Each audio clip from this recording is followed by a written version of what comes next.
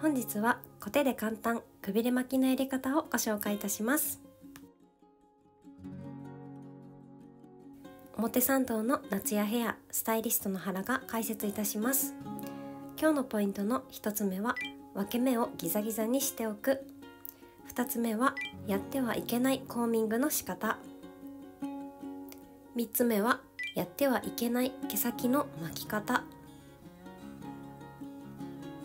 4つ目はくびれ部分の作り方です。ぜひ最後までご視聴ください。今回はボブからミディアムくらいの方におすすめの巻き方です。まず分け目がこのようにまっすぐのままだとトップがぺたんこになってしまうので最初にコームの先端などを使って分け目をギザギザにしておきましょう。こうするとトップにボリュームが出やすくなってくれます。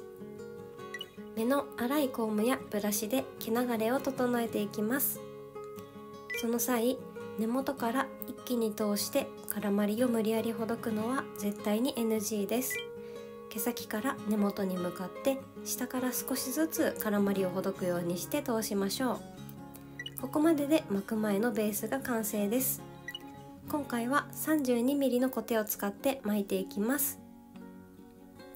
耳前の髪の毛を上下2つに分けて上は留めておきます。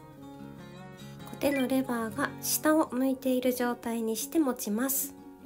そのまま丸い方を先に髪に押し当てるようにして滑らせながら挟んでいきます。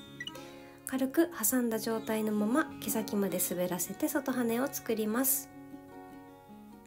上の段を巻く時にこのように持ち上げて巻くのは NG です。毛先がなじまなくなるので必ず下の段と同じ自然に落ちる位置で巻くようにしましょう。後ろと反対側も同じように上下に分けて外羽を作ります。外羽のベースができたので顔の横にくびれを作っていきます。耳前の髪の毛を上下に分けて今度は上の方を巻いていきます。コテを縦に持ってレバーが正面を向いている状態で挟みます。そのままコテが縦の状態のまま1回転させて中間あたりでキープして熱を与えたらコテを横にしながら抜き取ります。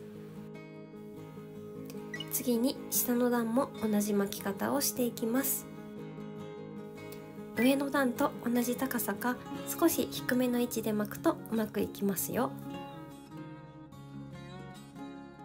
反対側も同じくレバーが正面にある状態で挟んで巻いていきます。引き抜く時に毛先にも熱を通すと馴染みが良くなります。顔周りのおぐれ毛も後ろに引き抜くようにしてくびれとなじませていきます。最後にポリッシュオイルをつけてツヤを出していきます。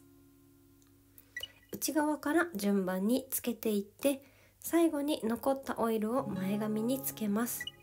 まとまりのある綺麗なくびれ巻きの完成です。ぜひやってみてください。このチャンネルでは表参道の美容師がショートヘア、ショートボブ、ボブを毎日楽しむための有益な情報を週に2回配信しております。チャンネル登録していただけると動画を作る活力になりますのでまだお済みでない方は登録ボタンを押してください。よろしくお願いします。